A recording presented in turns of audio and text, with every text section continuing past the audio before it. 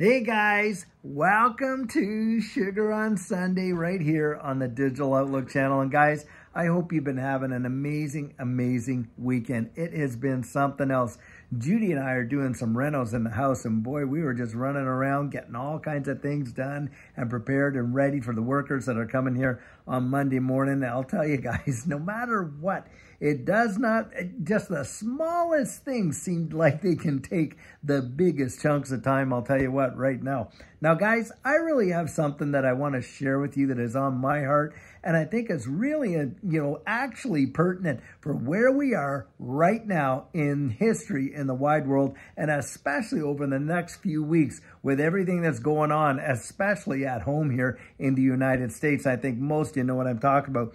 Guys, I want us to take a look at a few short little verses out of Proverbs here, and we're going to talk about Proverbs 3, and we're only going to be reading about maybe four, five, six of these, not too many. But guys, I'll tell you what, if we could just grab a hold of this, really start to employ this into our personal lives, I'm telling you, I think it'll absolutely change the focus and direction of where we actually are going in life. That is for sure. Now listen to this right here. It's Proverbs 3. We're going to start at verse 1, and this is what he says. He says, My son, do not forget my law, but let your heart keep my commands. For length of days and long life and peace will they add to you. Let not mercy and truth forsake you. Bind them around your neck. Write them on the tablet of your heart, and so find favor and high esteem in the sight of God and man. Trust in the Lord with all your heart and lean not on your own understanding, but in all your ways acknowledge him, and he shall direct your paths. Do not be wise in your own eyes. Fear the Lord and depart from evil. It will be health to your flesh and will be strength to your bones. Honor the Lord with your possessions and with the first fruits of all your increase, so your barns will be filled with plenty and your vats will overflow with new wine. Now, guys, there are other verses to that, that passage of scripture, but I thought it would just be important to focus on these. The first thing I see there, guys, is this. We all want to live long, healthy, prosperous, and just grace-filled lives. I think that is like the desire of most people. Now, I have coached hundreds and hundreds of people personally, and I can tell you, basically, if you were to narrow it down into a nutshell, that right there is really their focus, their aim, their goals in life, long life, health, you know, just doing well financially, and of course, having favor in life. And guys, it tells us how to get it right there. Truly it does. I mean, if you want a formula for genuine success, that's it right there. I'll tell you what, because it says, hey, my son, keep my commands. Keep them right close to your heart. Don't forsake truth and all of that kind of stuff. Bind it around your neck and mercy. Don't forsake that. Let it be like the wellspring of your of your life. You know, we feel so vulnerable with things about our neck, don't we? And what the Lord is really saying is, hey, have that heart attitude.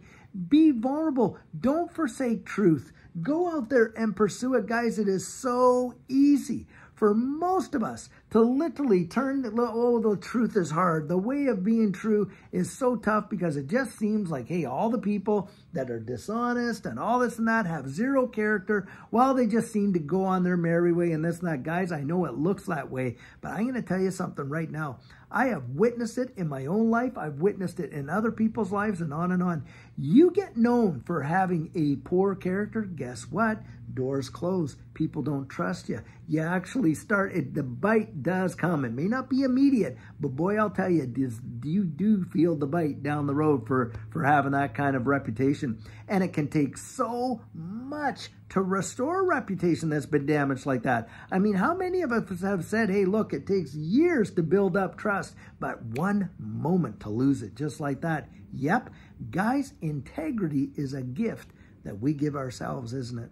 And it's where there's no compromise on those issues. We're not going to just like skate the line as much as we can. And especially as it pertains to our relationships with one another. And this is a pen, I mean, if there has ever been an epidemic of, you know, massive proportions, it has got to be in the trust factor of the world. Do we really trust what we're hearing on the news? No, guys, we don't. Do we really trust that when we take our car into the mechanic, we're going to get an honest report? Oftentimes, no. Guys, we don't even trust the people that we're selecting to be the lead over us, do we? I mean, you got whole groups of people that don't trust the other group and this and that. And why? Well, guys, because we've been once bitten and now we're twice shy. Isn't that the, the way it is? And this is where I'll tell you, you will shine like a light in the absolute darkness if you decide to walk in integrity and truth. Why? Because it's so rare. That's why it is so rare. I remember when I was an investigative officer, and I'll tell you, you could discern a truth from a lie just like that. Do you know why? Because you heard lies all day long that the moment you heard the truth, there's a difference here. You knew it. And that's how I kind of look at it, guys. And who do we want to be? We want to be people of character, people of truth. Now, is there a cost for being that? Yes, there's a cost for being that. You may not be liked so much around that big old crowd, right? You might not be, you might not get the opportunities you thought you were going to get because, hey, you're not willing to step on other people to get there, number one, and all that kind of stuff. Plus, hey, they don't want people sitting around the table that makes them feel uncomfortable when they're out there doing all their mischievousness, which I've been in those places, guys. I've seen it happen and how unwelcome I felt at those tables. And boy, were they ever glad to see me go and that type of thing. Why? Because, hey, nobody wants to, if we want to, you know, be out there doing all this, we don't want somebody out there that we don't know that is going to, like, keep that confidence about all the misdeeds we're doing. And people of integrity, usually, guys, they're not going to want to be around them either. Now, think about this. It's not just competency that matters.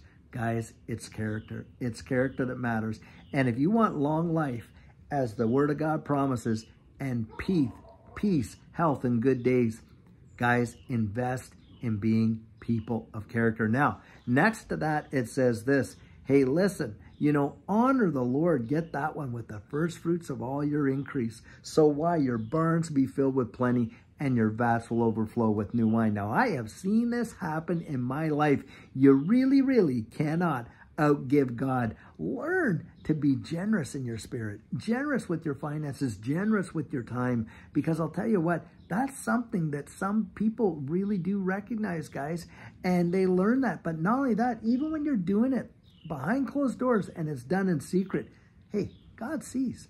And he rewards those. Bible says that the that, you know, he who gives to the poor lends to the Lord, and the God is a, debtor to no man. In fact, he says he will reward you. What's done in secret, he'll reward you openly. I have seen that happen. Now, we don't do it to get the reward, of course, but you just develop the attitude of being a giver. Judy and I, we would go around and we would literally say we are tithers and we are givers and we have blessed so, so many and with a joyful heart really, in doing it. And guys, there's something about it that just liberates you on the inside. You're not trapped by all the trappings of life, you know, and all these possessions because, hey, you're so willing that you might even give them away. Look, I remember one time I had this Shaquille O'Neal rookie card. And I remember when I got it because I was, you know, collecting basketball cards at the time.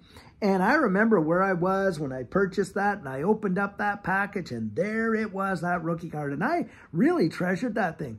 Well, years had gone by and one of my very close friends, it was his birthday, but I was, you know, pretty like down. I was broke, kind of almost. Well, I'll tell you what I did. I took that thing that meant so much to me and I gifted it to that person, that friend of mine. And I'll tell you what a joy it was for him to have it. And I had it in pla I had it inside a little plastic sleeve and I had it inside a kind of plexiglass frame all tightly together. So it was mint, mint condition.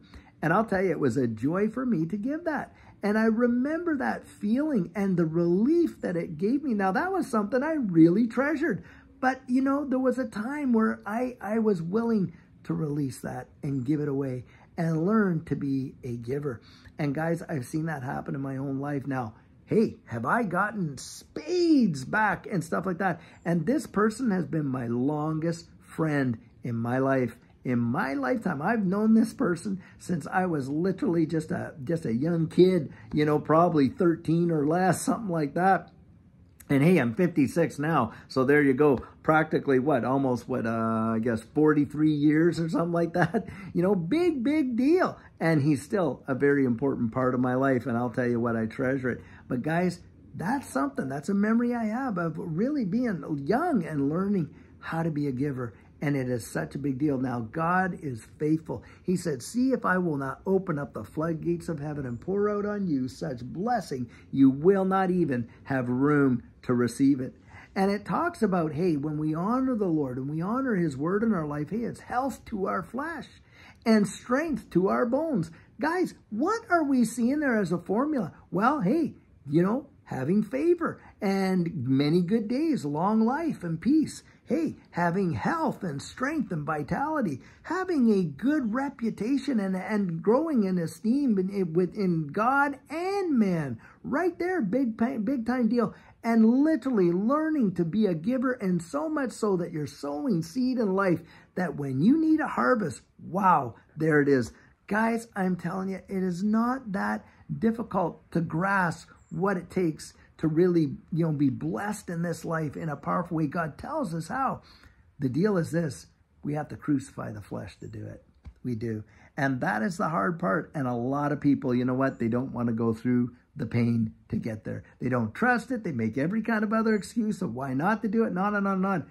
Why don't you give it a shot? Why don't you try it out? Why don't you see if God's word is true in that capacity or if it isn't? I'll tell you what, I have proved that it's true and I've learned to stick with it. Now, I've shared this analogy before, but when I was going through a real hard time, a friend of mine, he had brought over this fax machine and gave it to me. And I'm thinking, what am I going to do with this thing? I took it down to a pawn shop. I pawned it off, brought home this Yamaha guitar. I thought, well, here's an opportunity to learn how to play. I was going through a really ugly divorce at the time, and I thought this would be a great distraction for my mind. Well, I'll tell you what, every time I put my fingers on those strings there, they got sore and sore and sore. And the thing is this, I thought I was never going to learn how to play them. One day, bang, my fingers went exactly where they needed to go because I would have to look where to put them before, but they went exactly where. Now, of course, that is muscle memory. But a little bing went off in my my little pea brain over here, and this was the bing. Look, guys, in life, when we want to really do something, and there's some big time changes, well, there might be some pain involved in that. But if we could just stick with it long enough, it becomes effortless.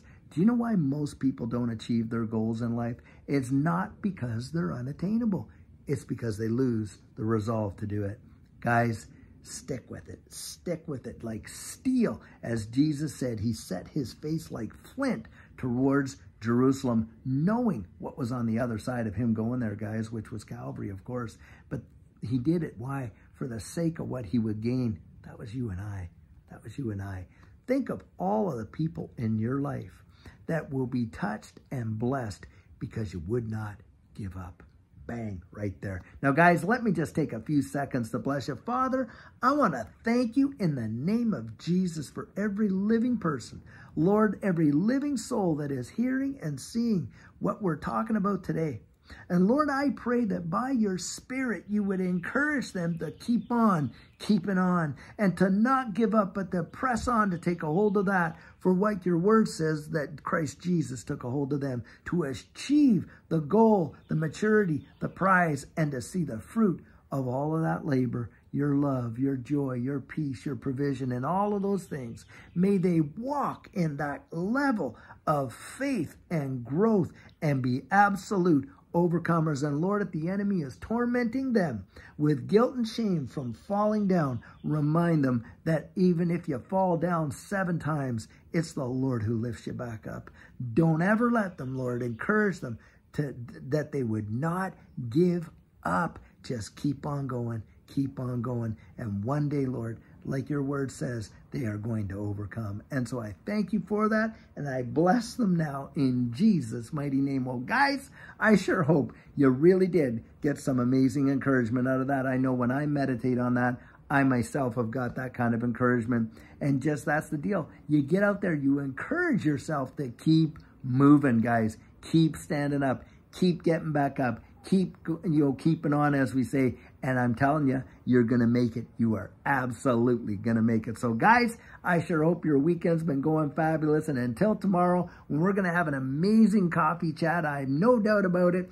And hey, tomorrow as well, we got Turning Point, and we got a really special guest showing up tomorrow on Turning Point with us. And then, of course, we're going to have our evening video until later on, guys. Until we get to meet again like that, I pray you're having a fabulous one and take care.